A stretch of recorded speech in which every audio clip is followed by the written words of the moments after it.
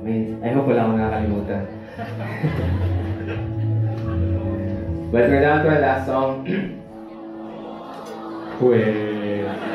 Well, sino yun? Tabi naman ito, sumunod pala yung Lola Amor. Kaya biro lang. So, uh, huwag kayong mag-alala, mamadaliin namin. 7 minutes lang, guys. But uh, gusto ko lang sabihin na kung nandito ka and you feel na parang parang siya, parang, parang feeling ko walang halaga yung life ko. Na ganun ba ako lang? Gusto ko lang sabihin na lahat tayo ay part tayo ng isang malaking picture. And lahat ng pixels ng picture na yun, bawat pixel, bawat pyesa ng picture na yun, ay mahalaga. Bawat pyesa na bumubuo sa iyo ay napaka-importante.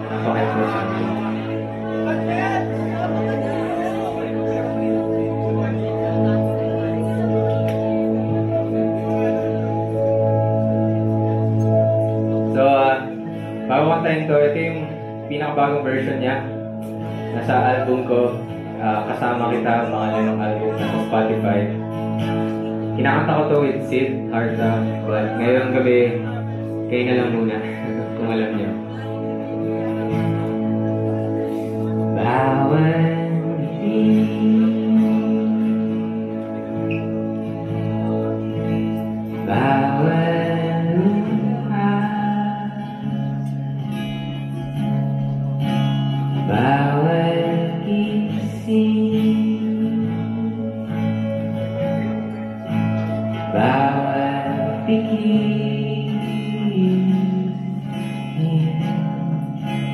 Bawat